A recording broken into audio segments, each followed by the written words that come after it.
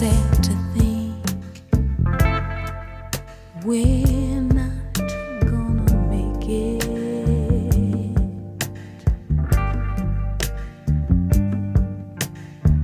and it's gotten to the point.